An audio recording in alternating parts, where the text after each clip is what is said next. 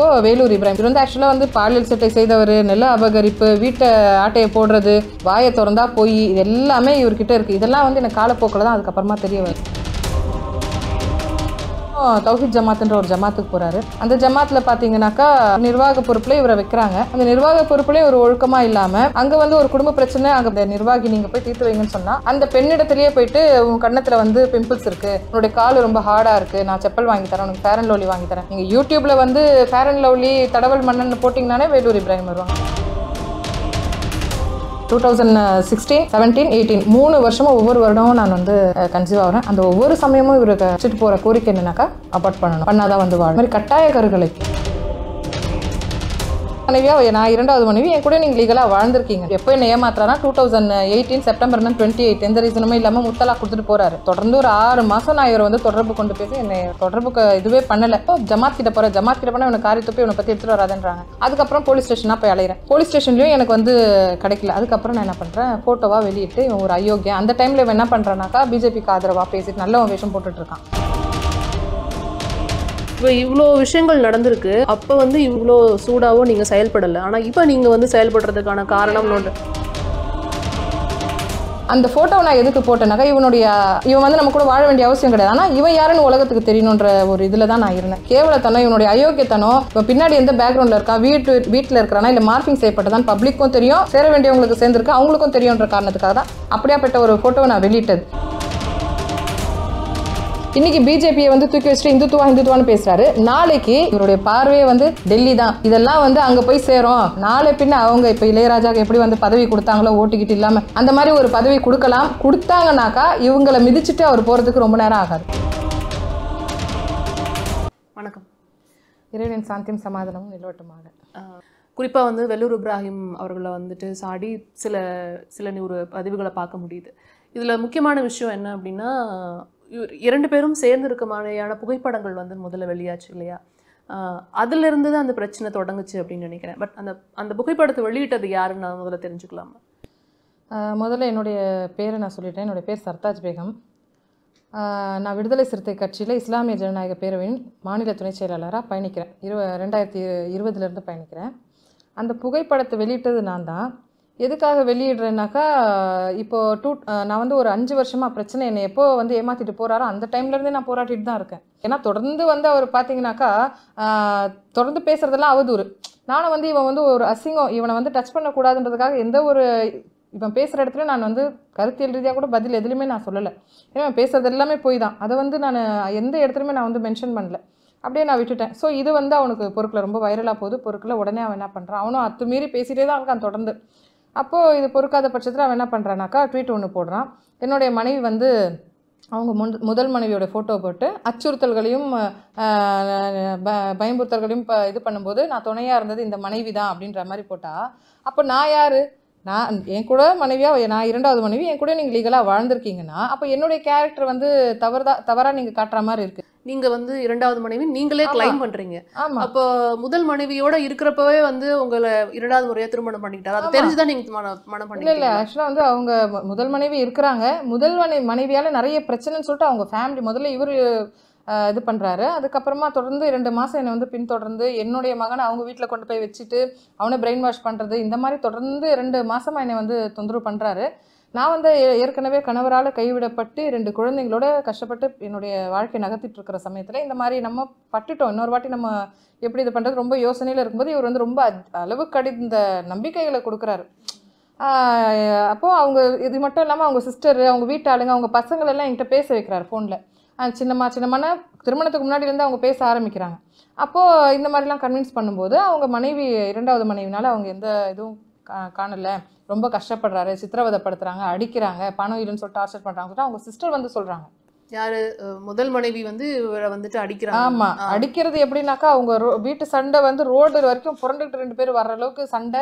அடிச்சுக்கிட்டு முகத்துல கீறல் போட்டுக்கிறது. பசங்க நைட்ல படுத்திருந்தாங்கன்னா காலை மிரிச்சுக்கிட்டு போறது. இந்த மாதிரி காயங்கள் ஏற்படுத்தக்கூடிய அளவுக்கு அவங்களுடைய சண்டைகள். எதனால? பண ரீதியான்னு சொல்லிட்டு அவங்க அக்கா வந்து சொல்லி அழுது என்னை கைப்பிடிச்சு நீ திருமணம் முடிச்சுக்கோ. உனக்கு நாளைக்கு அவன் விட்டுருவான்ற ஒரு பயம் இருந்தாலும் உன்னை நான் வச்சு காப்பாத்துறேன்ற ஒரு அஷூரிட்டி அவங்க கொடுத்ததுனால தான் நம்பி அவங்கள அவங்க ஏற்கனவே திருமணமானவங்க தெரிஞ்சு நான் திருமணம் முடிக்கிறேன். திருமணம் பண்ணிக்கிட்டீங்க. ஸோ ஆனால் உங்களை வந்துட்டு அவர் ஒரு ட்விட்டர் பதிவில் வந்து உங்களுடைய புகைப்படத்தையோ இதையுமே போடவே இல்லை. இப்போ வரைக்கும் கிளைம் பண்ணுறது என்னன்னா அவரோட முதல் மனைவியோடைய பேரை தான் போட்டு கிளைம் பண்ணுற மனைவி அப்படின்னு சொல்லிட்டு.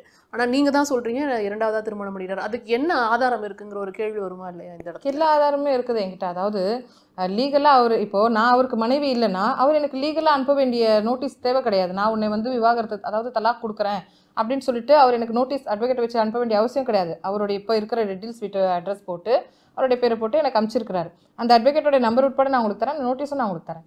அதுக்கப்புறம் அதில் என்ன போடுறேன்னா ஃபஸ்ட்டு தலாக் கொடுக்குறேன். நான் உனக்கு நான் உடனே திருமணம் முடிச்சுக்கிட்டேன். முடிச்சுக்கிட்டு இப்போ மிஸ் அண்டர்ஸ்டாண்டிங் இருக்கிறதுனால நான் உனக்கு ஃபஸ்ட்டு தலாக் கொடுக்குறேன். அதனுடைய அது அமௌண்ட்டு இந்த இதான் அந்த அமௌண்ட்டுன்ற மாதிரி நான் உனக்கு கொடுக்குறேன்ற அந்த அமௌண்ட்டையும் மென்ஷன் பண்ணி அமைச்சிருக்கிறாரு. இது யாரோ ஒரு பெண்ணுக்கு இவரையே அனுப்பணும் இந்த மாதிரி. உங்களை முறையாக திருமணம் பண்ணிக்கிட்டார்? ஆமா முறையா அவருடைய தஃப்தர் அவர் வந்து டிஎன்இஜே அப்படிங்கிற ஒரு ஜமாத்தை வந்து ரிஜிஸ்ட்ரேஷன் பண்ணி வச்சிருந்தாரு. அந்த ஜமாத்தினுடைய தஃப்தர் தஃப்தர் அப்படின்னா என்னன்னு கேட்டிங்கனாக்கா ஒரு இஸ்லாமியர்கள் திருமணம் முடிக்கிறாங்கன்னா இரண்டு பக்கமும் குபுல் அதாவது சம்மதமான்னு கேட்டு கையெழுத்திடுவாங்க.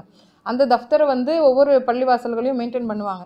ஸோ இவரும் வந்து ரிஜிஸ்ட்ரேஷன் பண்ணி இருக்கிற ப பள்ளிவாசல் வச்சிருக்கிறார் அப்படின்ற காரணத்தினால அந்த தஃப்தரே கொண்டுட்டு வந்து ரிஜிஸ்ட்ரேஷன் பண்ணிக்கிட்டாரு. வந்து முறையா. திருமணம் ஆமா பண்ணிக்கிட்டார் முறையா திருமணம் எத்தனை வருடம் சேர்ந்து வாழ்ந்தீங்க? மூன்று வருடம் சேர்ந்து வாழ்ந்தோம். அது எந்த வருடம்னு சொல்லுங்க. இரண்டாயிரத்தி பதினாறுல இருந்து இரண்டாயிரத்தி பதினெட்டு வரைக்கும் சேர்ந்து சேர்ந்து வாழ்ந்தீங்க. எதனால பிரிஞ்சீங்க ரெண்டு பேரும்? பிரிஞ்சது எதனாலன்னு கேட்டிங்கன்னா அவருடைய மோட்டிவே பார்த்தீங்கன்னா பணம் தான் நான் வந்து நல்லா சம்பாரிச்சிட்ருக்கேன். என்னுடைய முதல் ஹஸ்பண்டினால் வந்த அந்த டைவர்ஸ் செட்டில்மெண்ட் பணத்தை வந்து எங்கள் ஓனர்கிட்ட கொடுத்துருந்தேன். ஸோ அதெல்லாம் வந்து அவர் தெரிஞ்சுக்கிட்டு தான் என்னை வந்து திருமணம் முடிச்சிருக்கிறாரு. பணம் இருக்கிற வரைக்கும் என் கூட மூணு வருஷம் நல்லா வாழ்ந்தார். எப்படி வாழ்வாருனாக்கா இப்படி ஒரு மனுஷன் நம்மளுக்கு கிடைக்க மாட்டானான்ற ஒரு இது வர்ற மாதிரி நம்பிக்கை நம்ப வச்சு வாழ் வாழ்ந்தார். ஏதாவது ஒரு தவறு செஞ்சதா நம்ம உஷாராயிட்டோம்னா கூட அந்த அதை அப்படியே மறக்கடிக்கிற அளவுக்கு நம்மளை வந்து கன்வின்ஸ் பண்ணுறது நான் இறந்தாலும் உன்னுடைய மடியில் தான் என்னுடைய உயிர் மூச்சு போகணும். அந்தளவுக்கு கன்வின்ஸ் பண்ணி கன்வின்ஸ் பண்ணி ஒரு ஒரு நம்மளும் வந்து என்ன நினைப்போம் ஒரு மனுஷன் தவறு செய்யக்கூடியவன் தான். சரி மன்னிப்புன்னு வரும்போது திருந்திடுவான் அப்படின்ற ஒரு நம்பிக்கையில் அடுத்தடுத்த நகர்வுகளை நம்ம நர நகர்த்துறோம். ஸோ இது தொடர்ந்து two thousand sixteen seventeen eighteen மூணு வருஷமும் ஒவ்வொரு வருடமும் நான் வந்து கன்சீவ் ஆகிறேன். அந்த ஒவ்வொரு சமயமும் இவருக்கு வச்சுட்டு போகிற கோரிக்கை என்னன்னாக்கா அபார்ட் பண்ணணும். பண்ணாதான் வந்து வாழ்வேன். இது மாதிரி கட்டாய கருக்கலைப்பு உங்களுடைய ஒய்ஃபுக்கு வந்து பணம் தேவைப்படும் போதெல்லாம் அந்த என்னுடைய அந்த செட்டில்மெண்ட் ஆகி வந்த பணத்துலேருந்து எடுத்து எடுத்து கொடுக்கறது. உங்களை கல்யாணம் பண்ணிட்டதுக்கு அப்புறமும் அவங்களோடய இருந்தாரு. அவங்களுடைய ஆ. இருக்கிறாங்க. எப்படின்னாக்கா ஆக்சுவலாக இவருக்கு வேலை கிடையாது. இவருக்கு வேலையும் வாங்கி கொடுத்து இவருக்கு படிப்பு ரீதியாகவும் எல்லாமே சொல்லி கொடுத்து இவருக்கு சோஷியல் மீடியாவில் எப்படி இது பண்ணணும் எல்லாமே நான் கற்றுக் கொடுத்ததே நான் தான். அது எல்லாமே வந்து படிப்பு ரீதியாகவும் இவருக்கு நான் ஹெல்ப்பாக இருக்கிறேன். வருமான ரீதியாகவும் நான் சம்பாதிக்கிறேன். என்னுடைய பணமும் இருக்குது. இப்போ அவங்க மனைவிக்கு வந்து இவர் சம்பாதிக்கிறதுலாம் போதுமானதில்லை. இவர் என்ன சம்பாதிக்கிறாருன்னு கேட்டிங்கன்னா ஜூஸ் கடையில் வேலை செஞ்சுட்டு இருந்தார் அது சொந்தமாக வச்சுருந்தார் ஜூஸ் கடை. அதில் வந்து ஒரு ஜூஸ் பத்து ரூபா அஞ்சு ரூபா அந்த மாதிரி தான் அதுக்கப்புறம் பார்த்தீங்கன்னா மேக்ஸி கேப் அதாவது ஷேர் ஆட்டோ ஓட்டுவாங்க. அதுலேயும் அவரால் போதுமான வருமானம் ஈட்ட முடியல. அதுக்கப்புறம் தௌஹித் ஜமாத்துன்ற ஒரு ஜமாத்துக்கு போகிறாரு அந்த ஜமாத்தில் பார்த்தீங்கன்னாக்கா ஒரு நிர்வாக பொறுப்பில் இவரை வைக்கிறாங்க. அந்த நிர்வாக பொறுப்புலேயும் ஒரு ஒழுக்கமாக இல்லாமல் அங்கே வந்து ஒரு குடும்ப பிரச்சனை அங்கே போய் தீர்த்து வைங்க இந்த இந்த நிர்வாகி நீங்கள் போய் தீர்த்து வைங்கன்னு சொன்னால் அந்த இடத்துல போயிட்டு என்ன பண்ணுறது அந்த கணவன் மனைவி அறிவுரை சொல்லி தீர்த்து வைக்கிறத விட்டுட்டு அந்த பெண்ணிடத்துலயே போயிட்டு உன் கன்னத்தில் வந்து பிம்பிள்ஸ் இருக்குது உன்னுடைய கால் ரொம்ப ஹார்டாக இருக்குது நான் செப்பல் வாங்கி தரேன் உனக்கு ஃபேர் அண்ட் லவ்லி வாங்கி தரேன். நீங்கள் யூடியூப்பில் வந்து ஃபேர் அண்ட் லவ்லி தடவல் மன்னன் போட்டிங்கனாலே வேலூர் இப்ராஹிம் வருவாங்க. அதுக்குண்டான வீடியோஸும் நான் உங்களுக்கு தரேன். இதெல்லாம் தெரிஞ்சும் நீங்க திருமணம் இது எனக்கு அப்போ தெரியல. இவர் வந்து நான் எப்படி தெரிஞ்சுக்கிறேனாக்கா இவர் ஒரு மத போதகராக தான் எனக்கு இன்ட்ரடியூஸ் ஆகுறாரு. அதுக்கப்புறமா கொஞ்சம் கஷ்டமான காலம் வருது. இவருக்கு வந்து கொஞ்சம் வயது மூத்தவங்களா பார்த்து இவங்களுக்கு வேலூர் இப்ராஹிம்க்கு திருமணம் முடிக்கிறாங்க. அவங்க அக்கா. அப்போ திருமணம் முடிக்கும்போது அவங்க கொஞ்சம் மெச்சூர்டாக இருக்கிறதுனால ரொம்ப பணம் பணம் சம்பாரிச்சு வரணும் பணம் சம்பாரிச்சு வீட்டில் சாப்பாடு அந்த மாதிரி இன்னும் ரொம்ப பிரச்சனை வரும்போது வேலூர் அவங்க மனைவியோட ஊருக்கு போகிறாங்க போயிட்டு அங்கே போயிட்டு என்ன பண்ணுறாரு சாக்ஸு டை இந்த பட்ஸு அதெல்லாம் வந்து கையில் வச்சுட்டு விற்பாங்க இல்லையா? அந்த மாதிரி வேலை பார்க்குறாரு. அதில் வந்து அந்த வருமானம் வந்து இவங்க வீட்டுக்கு போதாதனால இவங்க வீட்டில் ரெண்டு பேருக்கும் பிரச்சனை வருது. பிரச்சனை வரும்போது இவர் என்ன பண்ணுறாரு மனைவியால் எந்த சந்தோஷமும் இல்லை. அப்போ அங்கேருந்து என்ன பண்ணுறாரு வர்ற பெண்கள் அந்த வாங்குற அந்த பொருளெல்லாம் வாங்க வர பெண்களை தொட்டு தொட்டு பேசுறது தடவி பேசுறது இதெல்லாம் அங்கே ஆரம்பிக்கிறாரு. அப்போ வேலூர் ஜமாத்தால வேலூரில் போய் இவங்கெல்லாம் கம்ப்ளைண்ட் பண்ணுறாங்க அப்போ வேலூர் ஜமாத்தால் இவர் தேடப்படுறாரு. தேடி அங்கேருந்து வந்து ஓடி வந்து அவர் அது மூலியமாக வந்த பேர் தான் வேலூர் இப்ராஹிம்ன்றது. இவருடைய இவர் வந்து இவருக்கு வந்து ஒரு பேர் கிடையாது. மூன்று பேர்களால் இவர் பயணிச்சிட்டு இருக்காரு. முதல்ல முகமது கனி அடுத்ததாக சையத் இப்ராஹிம் இப்போ வேலூர் இப்ராஹிம். ஒவ்வொரு பேருக்கு பின்னாடியும் ஒரு சரித்திரம் ஒரு வரலாறு இருக்குது ஸோ வேலூர் இப்ராஹிம்னு பேர் வந்ததுக்கு காரணம் இதுதான். அதுக்கப்புறமா அங்கேருந்து வராங்க. அந்த ஜூஸ் கடை அதெல்லாம் சொன்னேன் இல்லையா? ஸோ அதெல்லாம் வச்சு பண்ணுறாங்க அவங்களால இதெல்லாம் உங்களுக்கு எப்போ தெரிய வந்தது? இதெல்லாம் எனக்கு மேரேஜ் முடிஞ்சு பிரச்சனைன்ட்டு நான் வெளியே கொண்டு மூணு வருஷம் நான் யார்கிட்டயும் இந்த பிரச்சனையை வெளியே கொண்டு வரல. பிரச்சனைன்னு கொண்டுட்டு போயிட்டு அவங்க அக்கா கிட்டயும் எங்கள் வீட்டு தரப்புல வெளியே கொண்டுட்டு வரும்போது தான் அவன் யார் என்ன ஏதுன்ற விஷ் விஷயத்த அவங்க அக்கா மூலியமா அவங்க வீட்டு சொந்த பந்தங்க மூலியமா எனக்கு தெரியும். ஏற்கனவே திருமணமாகி நம்ம வந்து வேற அந்த திருமணமும் வந்துட்டு இங்கே வெற்றி ஆகலைங்கிற பட்சத்தில் இன்னொரு துணையை தேர்ந்தெடுக்கும் போது ஒரு பெண்ணா நீங்கள் சில விஷயங்களை வந்துட்டு எதிர்பார்த்திருப்பீங்க. அப்படிங்கிறப்ப இதெல்லாம் தெரியாமையே நீங்கள் கல்யாணம் பண்ணிக்கிட்டீங்களா? அவரங்க ஒரு கேள்வி வரும்ல. அதுக்கப்புறம் நம்மளும் ஒரு பெண் தானே? எவ்வளோ நான் ஒரு டுவெண்ட்டி இயர்ஸாக நானும் ஓடிட்டு தான் இருக்கேன். பசங்களை காப்பாற்றணும் குடும்ப பேர்டன் எனக்கு வந்து ஜென்ஸ் சப்போர்ட் எதுவும் கிடையாது. எனக்கு அப்பா கிடையாது பிரதர்ஸும் அந்தளவுக்கு கிடையாது. ஸோ ஃபேமிலி பேர்டன் என் மேலே இருக்கப்போ நான் ரன்னிங்லேயே இருக்கிறேன். அப்போது ஒரு கட்டத்துக்கு அப்புறம் நம்மளும் யோசிக்கிறோம். நல்லா படிச்சிருக்காரு. இந்த மாதிரி நம்மளையும் பார்த்துக்கிறேன்னு சொல்கிறாரு பத்தாவதுக்கு அவங்க வீட்டாளுங்களே அஷூரிட்டி கொடுக்குறாங்க. இதுக்கு மேலே நம்மளுக்கு என்ன வேணும்னும் போது நான் நான் வந்து நீங்க சொல்லலையா? முதல் மனைவி விவாகரத்து பண்ணிட்டு வாங்க அதுக்கு தான் நம்மளுக்கு ஹதீஸ் சொல்றாருல்ல முதல் மனைவி இருக்கும்போது திருமணம் முடிக்கலாம் இஸ்லாம்ல. மற்ற மதத்துல இல்லாததா? அந்த ஹிந்துஸ்ல பாத்தீங்கன்னாக்கா கிருஷ்ணர் ராமருடைய அப்பா அவங்களுக்குலாம் பாத்தீங்கன்னா எத்தனையோ மனைவிமார்கள் இருக்காங்க. கிறிஸ்டானிட்டிலையும் இருக்கு. நம்ம இஸ்லாமும் அது எந்த மதமும் பண்ணிக்க வேண்டாம்னு நம்ம சொல்லல. அப்படின்ற விஷயத்தெல்லாம் இவர் நம்மளுக்கு கற்றுக் கொடுக்குறாரு சொல்றாரு. அப்போ மதம் எந்த மதமுமே வந்து கல்யாணம் பண்ணிக்க வேண்டாம்னு சொல்லல. நீ வந்து திருமணம் முடிச்சுக்கோன்னு டெய்லி பயான் பண்றது. இந்த மாதிரி பயான் பண்ணி பண்ணி பண்ணி பிரெயின் வாஷ் பண்ணி அவங்க வீட்டாளுங்க முன்னிலையில் திருமணத்தை திருமணத்தை நடத்திட்டீங்க. இப்ப இது வந்து இந்த பிரச்சனை அப்படின்னு எப்ப வந்தது two thousand sixteen to eighteen வரைக்கும் அப்புறம் ஒரு வீட்டுக்கு ட்ரிப்ளிகேனில் ஒரு ஞாபகத்துல்லா ஸ்ட்ரீட் அப்படிங்கிற ஒரு இடத்துல ஜாம்பசார் கிட்ட ஒரு வீட்டுக்கு குடி போயிடுறோம். அங்கேயும் அட்வான்ஸ் நான் தான் கொடுக்குறேன். அந்த வீட்டில் போய் ஒரே மாசத்துல என்ன பண்ணுறாருனாக்கா போயிட்டு அங்கே கேஸை போட்டுறாரு அந்த அம்மா மேலே. எதனாலனாக்கா அந்த வீட்டை வந்து அபகரிக்கணும். இவர் வந்து ஆக்சுவலாக வந்து பாலியல் சிட்டை செய்தவர் நில அபகரிப்பு வீட்டை ஆட்டையை போடுறது வாயை திறந்தா போய் இது எல்லாமே இவர்கிட்ட இருக்கு. இதெல்லாம் வந்து எனக்கு காலப்போக்கில் தான் அதுக்கப்புறமா தெரிய வரும் இது பிரச்சனைன்னு வந்ததுக்கு அப்புறம் நீங்க முதல்ல எடுத்தோடனே ஒரு புகைப்படத்தை நீங்களே வெளியிட்டேன் அப்படிங்கிற சொல்றீங்க. பொதுவாக ஒரு புகைப்படத்தை வெளியிடுறீங்க கணவன் மனைவி அப்படின்னு சொல்லணும் அப்படின்னா எந்த புகைப்படத்தை வெளியிடணுமோ அதை வெளியிடலாம். பட் அந்த புகைப்படம் பார்க்கறதுக்கு எப்படி இருந்தது அப்படிங்கிறதே தெரியும். அது மாதிரி ஒரு புகைப்படத்தை ஒரு பெண்ணால் எப்படி வெளியிட முடியும்? அப்போ வந்து அவதூறு பரப்புறாங்க இவங்க அப்படிங்கிற மாதிரி தானே இருக்குது இந்த டூ தௌசண்ட் எயிட்டீன் நைன்டீன் டைம்லலாம் வந்து நான் இவருடைய புகைப்பட புகைப்படத்தை வெளியிட்டு தான் இருக்கிறேன். அப்போ என் எப்போ என்ன ஏமாத்துறாருன்னா two thousand eighteen September month twenty eight எந்த ரீசனுமே இல்லாமல் முத்தலாக கொடுத்துட்டு போகிறாரு அப்போ ஒரு வாரம் பத்து நாள் ரெண்டு மாதம் மூணு மாதம் தொடர்ந்து ஒரு ஆறு மாதம் நான் இவரை வந்து தொடர்பு கொண்டு பேசி என்னை தொடர்புக்கு இதுவே பண்ணலை. அதுக்கப்புறமா வேறு வழி இல்லாமல் நான் என்ன பண்ணுறேன்னாக்கா அவங்க ச கூட இருக்கிறவங்க கிட்ட சொல்கிறேன் அப்போது எனக்கு வந்து வழி கிடைக்கல. அப்போது ஜமாத் கிட்ட போகிறேன் ஜமாத் கிட்ட போனால் இவனை காரி துப்பி இவனை பற்றி எடுத்துகிட்டு வராதுன்றாங்க. அதுக்கப்புறம் போலீஸ் ஸ்டேஷனாக போய் அலையிறேன். போலீஸ் ஸ்டேஷன்லேயும் எனக்கு வந்து கிடைக்கல. அதுக்கப்புறம் நான் என்ன பண்ணுறேன் ஃபோட்டோவாக வெளியிட்டு இவன் ஒரு அயோக்கியம் அந்த டைமில் இவன் என்ன பண்ணுறானாக்கா பிஜேபிக்கு ஆதரவாக பேசிட்டு நல்ல அவன் வேஷம் போட்டுட்ருக்கான் அந்த டைமில் என்னுடைய கணவர் இவர். இவரும் நானும் பக்கத்தில் இருக்கிற ஃபோட்டோவை தான் நான் முதல்ல போட்டது. ஹிஜாபோட ஃபோட்டோ தான் நான் போடும்போது டூ தௌசண்ட் நைன்டீன் அந்த டைமில் இவர் என்ன சொல்கிறாரு அவன் என் மனைவியே இல்லை. ஒரு பேட்டியில் பார்த்தீங்கன்னா அவன் மனைவியே இல்லைன்ட்டார். அவன் என் மனைவியே இல்லை. யாரோ ஒரு பெண். அப்போது என்னுடைய கேரக்டர் நான் என்ன தப்பானவளாக இவர் வந்து ப்ரொஜெக்ட் பண்ணுறாரு அப்போ நான் தப்பானவ கடை கிடையாதுன்றது ப்ரூஃப் பண்ண வேண்டிய கடமையில் நான் இருக்கிறேன். ஸோ அந்த டைமில் வந்து நான் என்ன பண்ணுறேன்னா ரெண்டு பேர் கூட இருக்கிற ஃபோட்டோ போடும்போது இவர் அந்த பதிலை சொல்லிட்டு அதுக்கப்புறம் நான் என்ன பண்ணுறேன் போலீஸ் கிட்ட இருந்தால் நம்மளுக்கு ஏன்னா இவருக்கு உளவுத்துறையில் ரொம்ப இது இருக்குது உதவி இருக்குது அதனால இவர் வந்து எங்கே கேஸ் கொடுத்தாலுமே அதை தடுத்துடுறாரு பண்ண முடியாமல் அப்போது க போலீஸ்கிட்டேயும் நம்ம இது நடக்க முடியலன்னு சொல்லிட்டு நான் என்ன பண்ணுறேன் வீட்டுக்கிட்டே போய் தர்ணா பண்ணுறேன் அவர் வீட்டு வாசலில் உட்காந்து தர்ணா பண்ணுறேன் அஞ்சு பத்து நிமிஷத்தில் போலீஸ் வந்து என்ன அப்படியே தூக்கிட்டு போய் ஸ்டேஷனில் உட்கார வச்சுட்டு அமுச்சு விட்டுறாங்க. போனாக்கா அடுத்த நாள் வெள்ளிக்கிழமை ஸோ வெள்ளிக்கிழமை அங்கே இருக்கிற எல்லாருமே பள்ளிவாசலுக்கு போயிடுறாங்க. போய் போகும்போது நானும் என் மகள் ரெண்டு பேர் தான் அந்த வீட்டில் இருக்கிறோம். இருக்கும்போது இதை தெரிஞ்சுக்கிட்ட வேலூர் இப்ராஹிம் என்ன பண்ணுறேன்னா அவனுடைய மனைவியையும் அவளுடைய மகளையும் என்னை வந்து கொலை செய்யறதுக்காக அனுப்புகிறேன் அதெல்லாம் சும்மாலாம் இல்லை. எல்லாமே வீடியோ ஆதாரத்தோட நான் உங்களுக்கு காட்டுறேன். எப்படி இடிச்சிருக்காங்க கொலை பண்ண வந்திருக்காங்க. ஆனால் இறைவனுடைய அருளால் ஒரு சின்ன கீரல் கூட என்னோட என்ன பண்ணாங்க?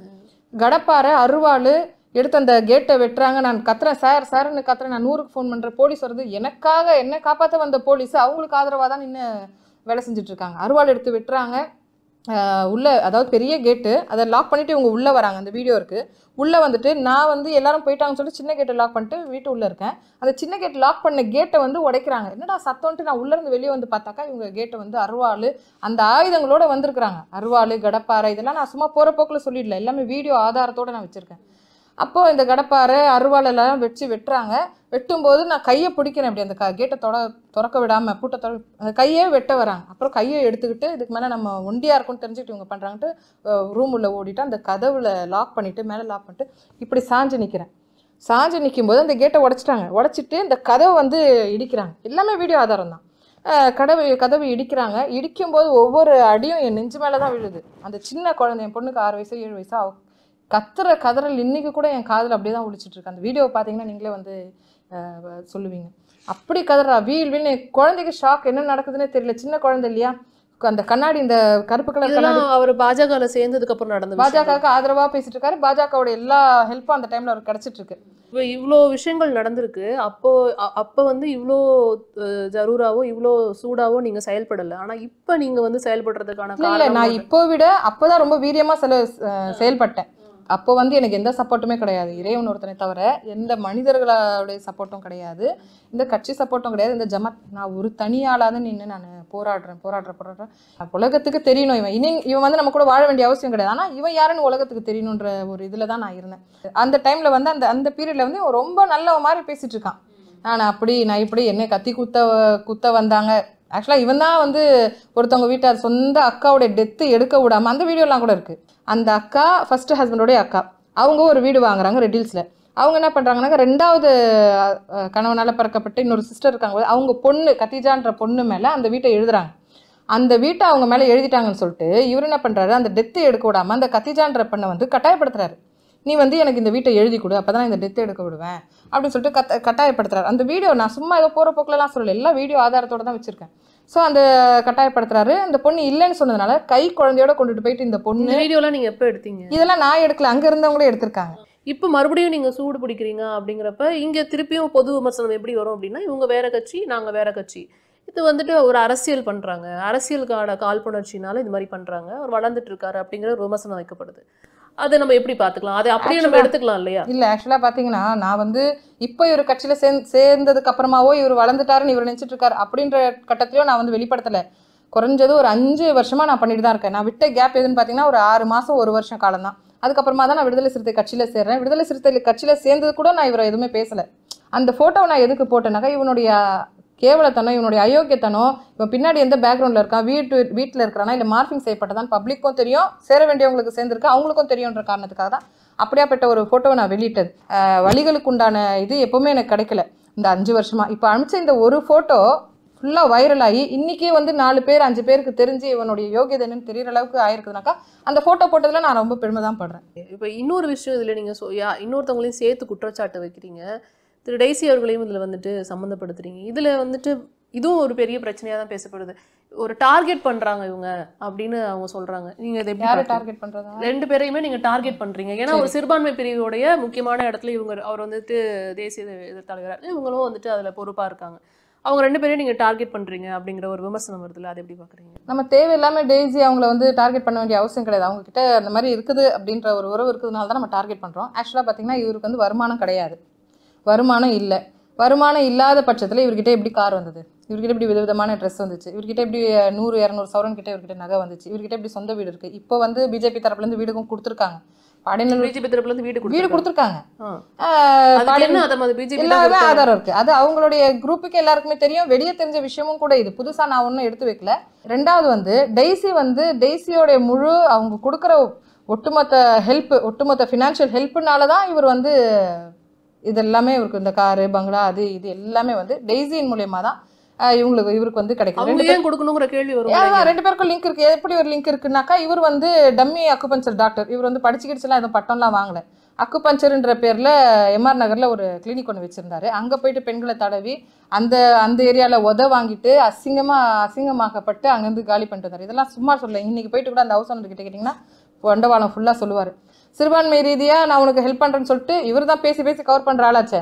இப்போ நீங்க பொதுவலையா இந்த விஷயங்கள் எல்லாம் வந்து வச்சிருக்கீங்க. நாளைக்கு வந்துட்டு இது போன்ற விமர்சனங்கள் தான் வரும். இது ஆஹ், எதிரது கட்சியில இருக்கிறதுனால தான் இவங்க விமர்சிக்கிறாங்க அப்படிங்கிற விமர்சனங்கள் தான் வரும். இவர் என் இஸ்லாமிய சமூகமோ யாருமே இவனை டச் பண்ண ஏன்னா இவன் அவ்வளோ கேடு கெட்டா இன்னும் துரோகி இவன்.